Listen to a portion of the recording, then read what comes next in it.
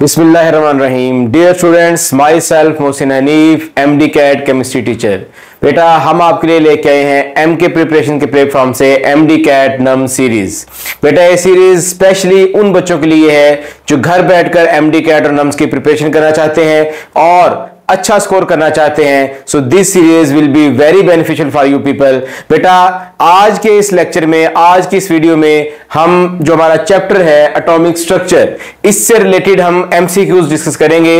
बेटा, ये एमसीक्यूज जो है, ये ऐसे एमसीक्यूज हैं जो पेपर्स में आ चुके हैं। इनमें कुछ ऐसे एमसीक्यूज भी हैं that MCQs are very similar to those MCQs which are time and again वो पेपर्स के अंदर आ चुके हैं। तो बेटा, आज का लेक्चर जो है, वो आपके लिए बहुत ही ज़्यादा बेनिफिशियल होने जा रहा है। एक बात बेटा मैं क्लियर कर दूँ कि इस लेक्चर से रिलेटेड जो थ्योरेटिकल कॉन्सेप्ट्स है, इसको हम पहले हमारे जो वीडियो सीरीज़ है, इसके हम डिस्कस कर चुके हैं। आज के लेक्चर में हम उन्हीं कॉन्सेप्ट्स के बेस पर जो एमसीक्यूज हैं, उनको डिस्कस करेंगे।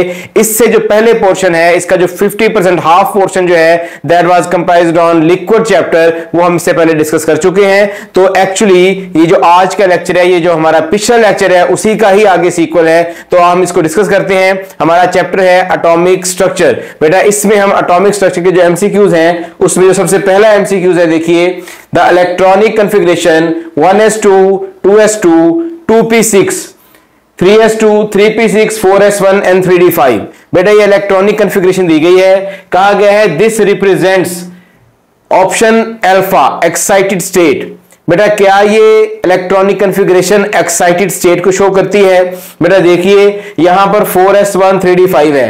तो अपेरेंटली हमें ऐसा लग रहा है कि एक इलेक्ट्रॉन को S1 से जंप करके 3D5 में चला गया है। तो अपेरेंटली हमें ऐसा लग रहा है कि जैसे ये एक्साइटेड स्टेट है। बेटा, ये एक्साइटेड स्टेट नहीं है। क्यों? क्योंकि देखें, इसमें 4S1 है और 3D5 है।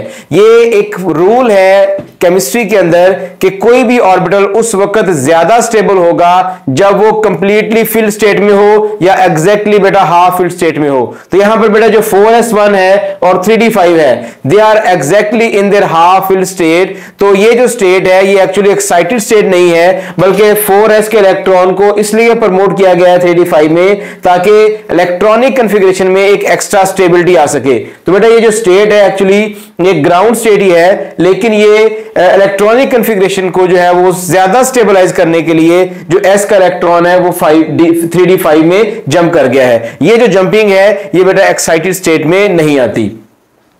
चार्ली ऑप्शन है एनाइनिक स्टेट बेटा, ये आयनानिक स्टेट नहीं है. एक्चुअली ये क्रोमियम की ही इलेक्ट्रॉनिक कंफिग्रेशन है. और डेल्टा जो है, एक कैटानिक स्टेट है ये कैटानिक स्टेट भी नहीं है, ये एक न्यूट्रल एटम की इलेक्ट्रॉनिक कंफिग्रेशन है. इस इलेक्ट्रॉनिक कंफिग्रेशन को एज स्पेशल केस हम हमारे जो नॉर्मल सीरीज़ है लेक्चर डिस्कशन की, उसके अंदर इसको हम डिस्कस कर चुके हैं. तो बेटा नेक्स्ट आपका एमसीक्यूज है.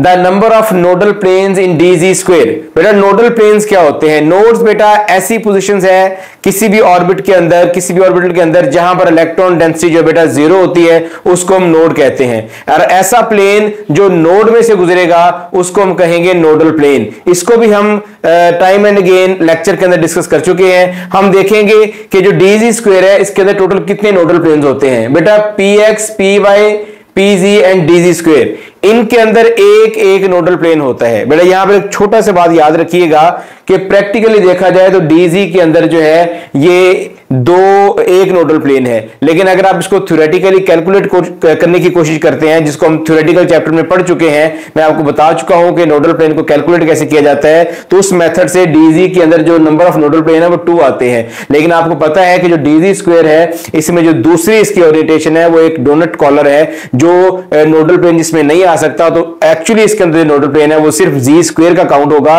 That is only one so P X P Y P G and DG square इन चारों के जो अंदर है, वो सिर्फ़ एक ही नोडल प्लेन होता है। सो so, इसका जो राइट right ऑप्शन होगा that will be alpha it has one nodal plane next है बेटा two nodal planes are present in बेटा, जो दो नोडल प्लेन है, वो डी ऑर्बिटल में होते हैं। इसमें सिर्फ़ डी जी स्क्वेयर एक ऐसा ऑर्बिटल है, जिसके अंदर नोडल प्लेन सिर्फ़ वन होता है, बल्कि D X D Y D G D X Y D Y G D G X और D X square minus Y square बेटा, ये जो चार ऑर्बिटल हैं, इनके अंदर जो है वो दो नोडल प्लेन होते हैं। अगर थ्योरेटिकली कैलकुलेट किया जाए तो बेटा डी जी के अंदर भी दो ही होते हैं, लेकिन प्रैक्टिकली उसके अंदर वन नोडल प्लेन है। तो एज ओवरऑल हम ये कंसिडर करते हैं कि जो हमारा डी ऑर्बिटल है it contains two nodal plane so इसका जो राइट ऑप्शन होगा that will be Charlie next है बेटा which set of quantum number is not possible बेटा, कौन सा सेट है क्वांटम नंबर का जो पॉसिबल नहीं है? बेटा, इसका जो राइट right ऑप्शन है that is alpha N is equal to three L is equal to two and M is equal to minus three देखिए बेटा कैसे? For for N is equal to three अगर एन को आप three ले लें तो उसमें अगर एल की वैल्यू टू हो तो एल की वैल्यू टू डी के बराबर है। बेटा, अगर एल की वैल्यू टू डी के बराबर है तो M is equal to minus two to plus two इसकी फाइव वैल्यूज़ होती हैं। तो अगर एल की वैल्यू टू है तो उसके लिए एम की वैल्यू थ्री नहीं हो सकती। एल की वैल्यू थ्री या माइनस थ्री उस वक्त होगी, जब आपके एल की वैल्यू जो है वो थ्री होगी, यानी वो एफ़ सबशेल होगा। तो जो ऑप्शन एल्फा है, ये पॉसिबल नहीं है। बाकी तीन जो है these are the possible answer next है जी which of the following relates photon as wave motion and as a stream of particle बेटा, जो प्लांक्स क्वांटम थ्योरी है, इसके मुताबिक जो फोटोन है, वो एनर्जी पैकेट्स हैं and they travel in the form of waves तो वहाँ पर वो पैकेट एनर्जी पैकेट भी हैं पार्टिकल भी है और उसके साथ साथ वेव मोशन भी है। तो उसमें जो ई e, जो रिलेशन है प्लांक्स क्वांटम थ्योरी का that is E is equal to H mu तो बेटा इस क्वेश्चन के अंदर जो E is equal to H mu है ये जो रिलेशन है ये प्लांक्स क्वांटम थ्योरी को डिफाइन करता है। तो प्लांक्स क्वांटम थ्योरी ही डिफाइन करती है कि आपके जो फोटोन है वो वेव मोशन भी रखते हैं और स्ट्रीम ऑफ़ एनर्जी पैकेट है स्ट्रीम ऑफ़ पार्टिकल है। तो इसका जो राइट ऑप्शन होगा that will be Charlie next देखें बेटा अटोमिक न्यूक्लियस कंटेन्स बेटा न्यूक्लियस के अंदर जो पाए जाने वाले जो पार्टिकल्स हैं उनको हम न्यूक्लियॉन्स कहते हैं। सो so, इसका जो राइट right ऑप्शन होगा that is delta nucleons electron नहीं हो सकता क्योंकि ये उसके वेलेंस जो शेल्स हैं न्यूक्लियस के अराउंड उसके अंदर पाया जाता है। जो प्रोटॉन्स हैं, ये न्यूक्लियस के अंदर पाए जाते हैं और जो न्यूट्रॉन है, ये भी न्यूक्लियस के अंदर पाए जाते हैं। तो इन दोनों को मिलाकर ही न्यूक्लियन कहा जाता है। तो इसका जो राइट ऑप्शन होगा that would be nucleon next है बेटा the quantum number not obtain from Schrodinger wave equation बेटा याद रखिएगा हम इसको डिस्कस कर चुके हैं कि तीन क्वांटम नंबर जो है principal quantum number azimuthal quantum number और मैग्नेटिक क्वांटम नंबर बेटा ये जो तीन क्वांटम नंबर है ये शोर्डिंगर वेव इक्वेशन से डिराइव किए गए हैं इनकी न्यूमेरिकल वैल्यूज़ होती हैं। जबकि जो स्पिन क्वांटम नंबर है that is simply describes the spin of the electron कि वो क्लॉकवाइज है या एंटी क्लॉकवाइज है इसको हमने शोर्डिंगर वेव इक्वेशन से डिराइव नहीं किया। So so, option delta S spin quantum number is the spin quantum number is the quantum number जिसको हमने श्रोडिंगर इक्वेशन से डिराइव नहीं किया। तो राइट right ऑप्शन होगा बेटा डेल्टा नेक्स्ट है the correct set of quanta number for unpaired electron of chlorine बेटा पहले देखिए क्लोरीन का जो अनपेयर्ड इलेक्ट्रॉन है वो है कौन सा? क्लोरीन है, इसका एटॉमिक नंबर है 17 और इसका जो लास्ट इलेक्ट्रॉन है 3pz1 ये जो है अनपेयर्ड है। हमने देखना है कि इसका जो क्वांटम नंबर है वो क्या है। बेटा, ये जो नंबर है साथ पी के साथ, ये प्रिंसिपल क्वांटम नंबर को शो करता है तो N will be equal to three P जो है, ये एल एजीमुथल क्वांटम नंबर है और इसकी वैल्यू होती है one so L is equal to one अगर पी है तो एल की वैल्यू वन होगी। बेटा जी है तो इसके लिए एम की वैल्यू जो है वो प्लस वन होगी। सो तीन वैल्यूज़ आ गई three one and plus one तो बेटा, जो राइट ऑप्शन बनेगा, वो बीटा बनेगा। Three one and plus one ये इसका right set of quantum number है। नेक्स्ट देखिए बेटा चार्ज ऑन इलेक्ट्रॉन बेटा इलेक्ट्रॉन के ऊपर चार्ज है, वो कूलम में भी मेजर कर सकते हैं, आप ईएसयू e में भी मेजर कर सकते हैं। ESU stands for electrostatic unit of charge बेटा, अगर आप इलेक्ट्रोस्टेटिक यूनिट ऑफ़ चार्ज का यूनिट लेंगे तो जो चार्ज वैल्यू होगी that will be minus four point eight plus ten multiplied by ten power minus ten E S U so delta would be the right option next है बेटा which of the following has lowest specific charge बेटा यहाँ पर मैं बता दूँ आपको जो स्पेसिफिक चार्ज होता है that is actually charge to mass ratio तो आपने इसको कैलकुलेट कैसे करना है? नॉर्मली आपने इसको जब कैलकुलेट करना है तो आपने जस्ट उसके ऊपर अपरेंट चार्ज उसका ले लेना है और उसका रिलेटिव मैस लेकर उसको कैलकुलेट कर लेना है. जैसे अगर मैं हीलियम का कैलकुलेट करूँ तो चार्ज इसके ऊपर कितना है? प्लस वन इसका रिलेटिव मैस कितना है? फोर तो इसकी ओ, जो स्पेसिफिक चार्ज है E over M value that comes up to one over four 0.25 इसी तरह अगर आप हीलियम प्लस प्लस की निकालते हैं तो अल्फ़ा पार्टिकल तो उसकी कितनी आ जाएगी? चार्ज टू आ गया, और इसके ऊपर जो इसका मैस है, वो फोर आ गया। That comes out to be point five. इसी तरह हाइड्रोजन की निकालेंगे तो ये प्लस वन और one is equal to one आ जाएगी। तो बेटा, इनमें सबसे जो लोएस्ट वैल्यू होती है, वो हीलियम प्लस वन की होती है। That is 0.25 so, helium plus 1 has the lowest specific charge re over m value, right option is alpha next बेटा देखें which of the following has greatest deflection in magnetic field बेटा, इसको भी हम detail में डिस्कस कर चुके हैं. The part behaviour of particle behaviour of charge particle in magnetic and electric field बेटा, देखें, जब भी किसी चार्ज पार्टिकल के ऊपर मैग्नेटिक फ़ील्ड अप्लाई की जाती है तो ये अपना स्ट्रेट पाथ है बेटा, जो सर्कुलर पाथ में कन्वर्ट कर लेता है. यानी अपने स्ट्रेट पाथ से डिफ्लेक्शन शो करता है. क्वेश्चन ये है कि जो कौन सा पार्टिकल है, इसकी डिफ्लेक्शन जो है वो मैक्सिमम होगी. बेटा, इसके लिए छोटा सा रिलेशन याद रखिएगा. जो डिफ्लेक्शन होती है that is directly related to specific charge जिसका स्पेसिफिक चार्ज बेटा ज़्यादा होगा, उसकी डिफ्लेक्शन बेटा क्या होगी? ज़्यादा होगी। तो इसमें सबसे ज़्यादा ई और एम वैल्यू जो वो इलेक्ट्रॉन की होती है तो इलेक्ट्रॉन की जो डिफ्लेक्शन वो मैग्नेटिक फ़ील्ड के अंदर बेटा मैक्सिमम होगी। नेक्स्ट देखें।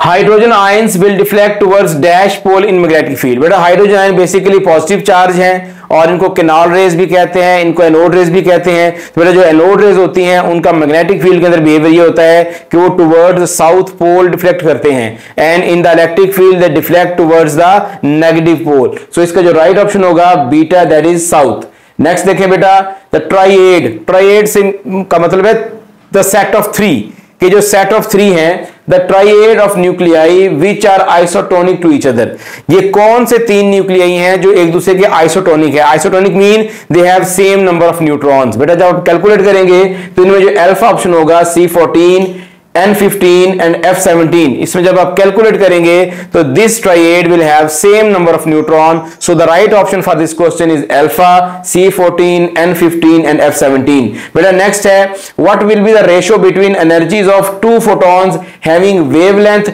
2000 angstrom and 4000 angstrom बेटा कहता है कि दो हमारे पास फोटोन है। एक की जो वेवलेंथ है वो 2000 है, दूसरे की 400 4000 है। कहता है, आप बताइए कि इनकी एनर्जीज के दरमियान क्या रेशियो होगी? बेटा फॉर एग्जांपल जो 4000 वाली है, उसको हम कह देते हैं E1 और दूसरे को E2 कह देते हैं। So E1 over E2 is equal to H C over lambda one over H C over lambda two because E1 जो है that is equal to H C over lambda one और E2 is equal है H C और lambda two बेटा H C H C से cancel out हो गया that comes out to be lambda two और lambda one so lambda two suppose हम कर लेते हैं फोर थाउज़ेंड और लेमडा वन कर लेते हैं टू थाउज़ेंड बेटा डिवाइड करेंगे आंसर आ गया टू तो इसका बेटा जो राइट ऑप्शन होगा that is Charlie option two. इनकी जो रेशियो होगी एनर्जीज की, वो टू होगी। नेक्स्ट देखें बेटा increasing order of E over M value बेटा, इसमें याद रखिएगा कि जो इलेक्ट्रॉन होता है, उसकी जो ई ओवर एम वैल्यू है सबसे हाई होती है। तमाम चार्ज पार्टिकल में से जो इलेक्ट्रॉन है it has the highest specific charge value और सबसे जो लोएस्ट होती है, वो होती है न्यूट्रॉन की। इनफैक्ट जो न्यूट्रॉन होता है बेटा, उसकी जो स्पेसिफिक चार्ज वैल्यू ज़ीरो होती है, क्योंकि न्यूट्रॉन के ऊपर चार्ज होता ही नहीं है। तो जो करेक्ट ऑर्डर बनता है, सबसे कम, ज़्यादा जो इलेक्ट्रॉन की देन प्रोटॉन की देन अल्फ़ा पार्टिकल की देन न्यूट्रॉन की। बेटा प्रोटॉन की जो स्पेसिफिक चार्ज इसलिए ज़्यादा होती है क्योंकि इसका मैस जब अल्फ़ा पार्टिकल से कम होता है। नेक्स्ट है बेटा the number of neutron in zinc ion having mass number 70 बेटा न्यूट्रॉन फाइंड करने का फार्मूला है ए जी ए माइनस जी क्या आप उसके अटोमिक मैस में से अटोमिक नंबर को माइनस कर दें? बेटा, जो जिंक है, उसका जो अटोमिक नंबर होता है, वो होता है 30 तो 70 में से बेटा 30 माइनस करेंगे तो आंसर आ जाएगा 40 सो इसका डेल्टा ऑप्शन है कि zinc ion has number of neutron 40 next है बेटा which of the following is not describe the principal quantum number. बेटा, याद रखिएगा, हम डिस्कस कर चुके हैं इसको पहले भी, कि जो प्रिंसिपल क्वांटम नंबर है, वो तीन चीज़ों को डिसाइड डिफाइन करता है।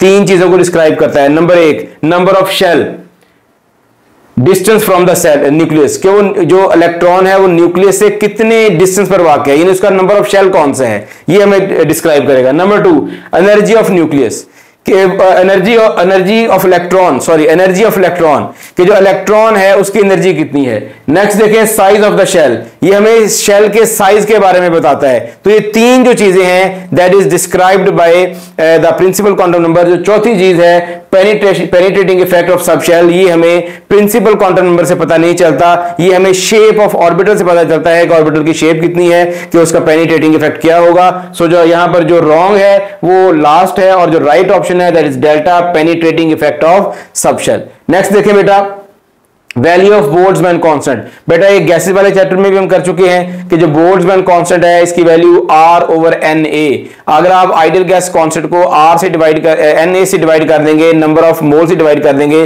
तो आपका बोल्ट्जमैन कांस्टेंट आ जाएगा।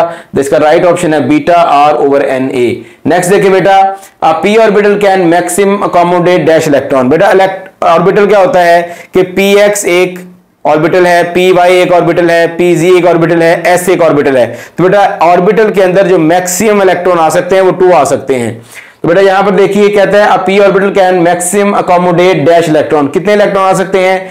अल्फ़ा ऑप्शन है बेटा टू इलेक्ट्रॉन बीटा है सिक्स चार्ली है two electron with same spin और डेल्टा है two electron with opposite spin बेटा, किसी भी ऑर्बिटल के अंदर हमेशा जो मैक्सिमम है वो दो इलेक्ट्रॉन आ सकते हैं और वो दो इलेक्ट्रॉन जब आएँगे तो they will come with the opposite spin एक की प्लस पॉजिटिव टू होगी, दूसरे की माइनस पॉजिटिव टू होगी. तो बेटा माइनस वन बाई टू होगी. एक की प्लस वन बाई टू दूसरे की माइनस वन बाई टू बेटा, जो राइट ऑप्शन होगा that would be delta two electron with opposite spin बेटा नेक्स्ट देखिए question the S orbital possesses the M value बेटा जो एस ऑर्बिटल है उसके लिए मैग्नेटिक क्वांटम नंबर की वैल्यू कितनी होती है बेटा? ज़ीरो आपको पता है कि जो एस ऑर्बिटल है वो डायमेंशन लेस है. वो स्फेरिकल है उसकी कोई ओरिएंटेशन नहीं होती. सो so, इसके लिए जो एम की वैल्यू बेटा कितनी होगी? Zero so right option is delta next देखिए बेटा the number of radial nodes in four S orbital बेटा रेडियल नोड को कैलकुलेट करने का फार्मूला होता है radial node is equal to N minus L minus one basically दो तरह के नोड होते हैं. एक होते हैं एंगुलर नोड और एक होते हैं radial nodes spherical nodes spherical node अगर आपने सिर्फ़ कैलकुलेट करने है that is N minus L minus one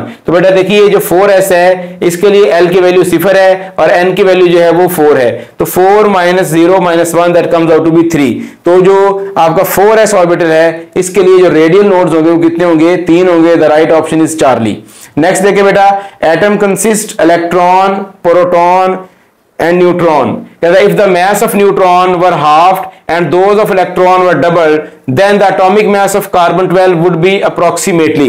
कहता है हमारे पास न्यूक्लियस के अंदर प्रोटॉन है और न्यूट्रॉन है कहता है अगर हम न्यूट्रॉन के मैस को हाफ़ कर दें तो बताइए ओवरऑल एटॉमिक मैस कितना रह जाएगा यहाँ पर उसने ये भी कहा है कि अगर हम इलेक्ट्रॉन को डबल कर दें बेटा जो इलेक्ट्रॉन का मैस है वो ओवरऑल मैस को इफ़ेक्ट नहीं करता तो इलेक्ट्रॉन को डबल कर दें थ्री टाइम्स कर दें फोर टाइम्स कर दें उसका कोई इफ़ेक्ट नहीं होगा बेटा अगर इफ़ेक्ट होगा तो न्यूट्रॉन का इफ़ेक्ट होगा। कैसे सॉल्व करेंगे बेटा देखिए। Atomic mass is equal to proton plus neutron six plus six बेटा कितना आ गया? ट्वेल्व आ गया। अब अपने क्या करना है? न्यूट्रॉन को हाफ़ कर देना यानी सिक्स से कितना कर दिया? थ्री कर दिया। अगर थ्री कर दिया तो मैथ कितना बन गया? Six plus three is equal to nine बन गया। बेटा अब मैथ डेफिशिएट कितना आएगा? मैथ रिड्यूस कितना होगा? पहले ट्वेल्व था, उसमें से थ्री रिड्यूस हो गया। तो 12 minus three over twelve multiplied by hundred answer कितना गया? 25 परसेंट तो उसका जो मैथ रिड्यूस हुआ है, वो 25 परसेंट मैथ जो उसका रिड्यूस हो गया है। नेक्स्ट देखिए बेटा सोडियम एटम कंटेन्स सोडियम में क्या होता है? जी आपने नंबर ऑफ़ प्रोटॉन और नंबर ऑफ़ न्यूट्रॉन कैलकुलेट करने हैं तो 11 ही प्रोटॉन है और इसके अंदर 12 न्यूट्रॉन है। आप सिंपली ए और जी के फार्मूले से कैलकुलेट कर सकते हैं। राइट ऑप्शन बेटा होगा इसका बीटा नेक्स्ट देखिए नेक्स्ट क्वेश्चन है which set of quantum number represents the 19th electron of chromium? जो क्रोमियम का नाइनटीन इलेक्ट्रॉन होगा, अपने उसके लिए क्वांटम नंबर का सेट निकालना है। पहले देखें क्रोमियम की इलेक्ट्रॉनिक कंफिग्रेशन इलेक्ट्रॉनिक जिसका एटॉमिक नंबर है, वो 24 होगा। इसकी इलेक्ट्रॉनिक कंफिग्रेशन देखें बेटा one S two two S two two P six three S two three P six four S one and three D five बेटा, इसमें मैंने हाईलाइट किया हुआ है फोर एस वन को, ये नाइनटीन इलेक्ट्रॉन है, इसको आप काउंट कर सकते हैं। बेटा, इसके क्वांटम नंबर बताने हैं आपने। एन की वैल्यू फोर आएगी क्योंकि इसके फोर लिखा हुआ है एन की वैल्यू फोर हो जाएगी। एस है तो एल की वैल्यू ज़ीरो हो जाएगी। इसके बाद बेटा डायमेंशन लेस है तो एम की वैल्यू भी ज़ीरो हो जाएगी। और ये वन है तो इसको प्लस वन बाई टू का ले माइनस वन बाई टू का ले, एक ही बात है। तो बेटा, क्या सेट बन गया? Four zero zero and one by two देखिए बेटा, कौन सा ऑप्शन बनता है इसमें से?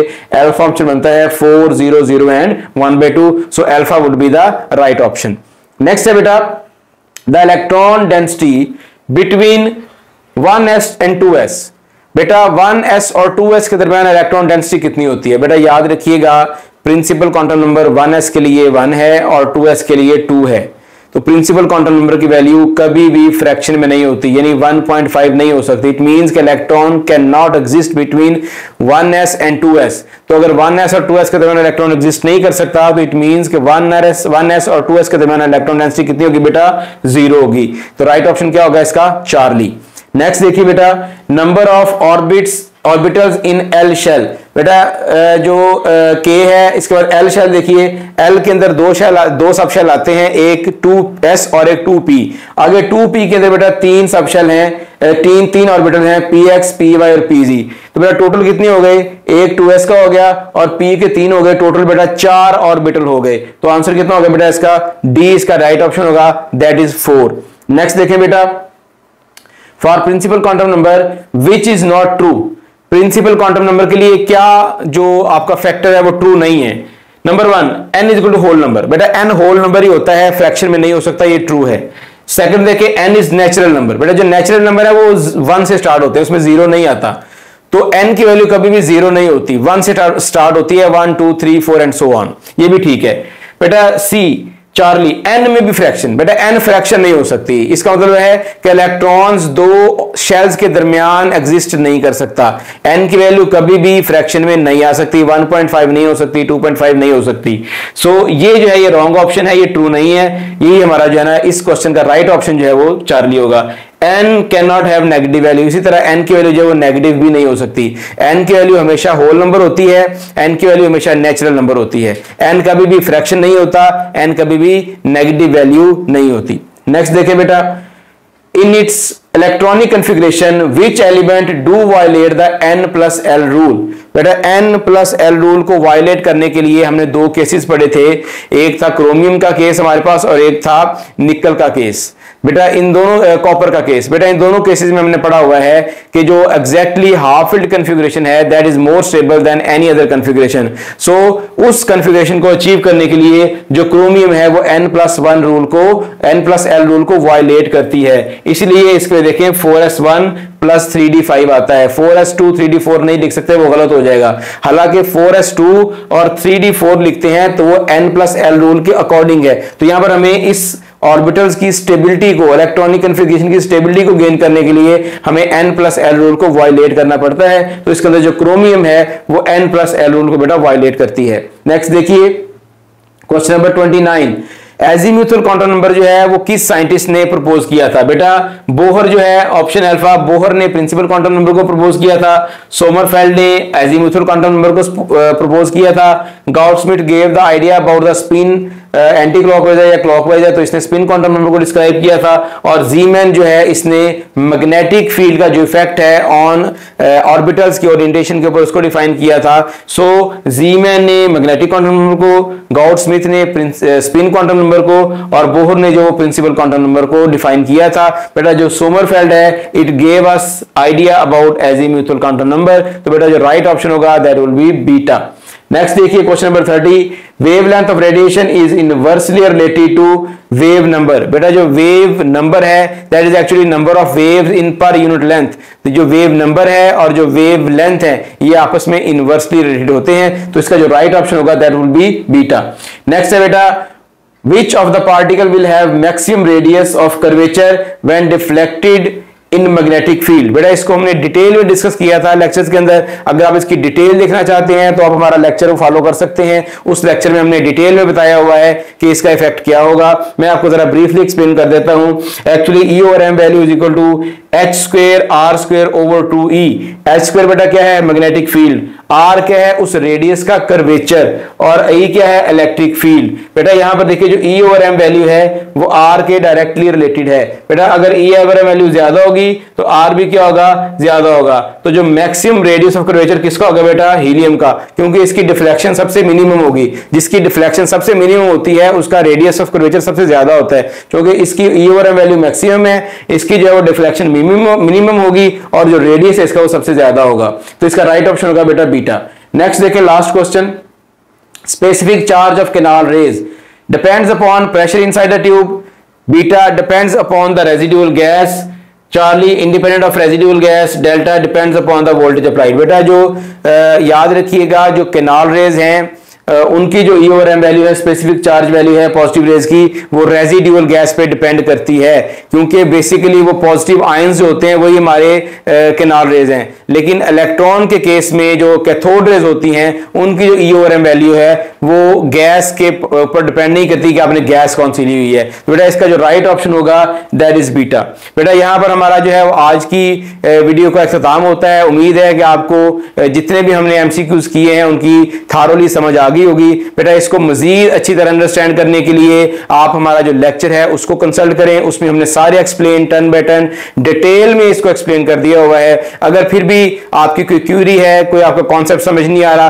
तो बेटा कॉमेंट सेक्शन में आप हमसे पूछ सकते हैं। अगर बेटा, आप को वीडियो समझ आ गई है तो इस वीडियो को लाइक करें शेयर करें सब्सक्राइब करें। और इसके साथ साथ अहम बात जो मैं हर लेक्चर में बताता हूँ कि ये जो आपको एम कैट सीरीज़ है, वो एम के प्रिपरेशन के प्लेटफॉर्म से दी जा रही है। तो एम के प्रिपरेशन का जो पेज है, वो हमारा फेसबुक पे भी मौजूद है, आप उसको जाके लाइक करें। हमारी जो यूट्यूब है, उस पर जाकर हमारा जो चैनल है एम के प्रिपरेशन का, उसको लाइक करें सब्सक्राइब करें शेयर करें। इसके साथ बेटा, आज का हम अपने लेक्चर को खत्म करते हैं। इन अगली डिस्कशन के साथ दोबारा हम आपके पास आएँगे। तो बेटा तब तक के लिए स्टे ब्लेस अल्लाह हाफिज़।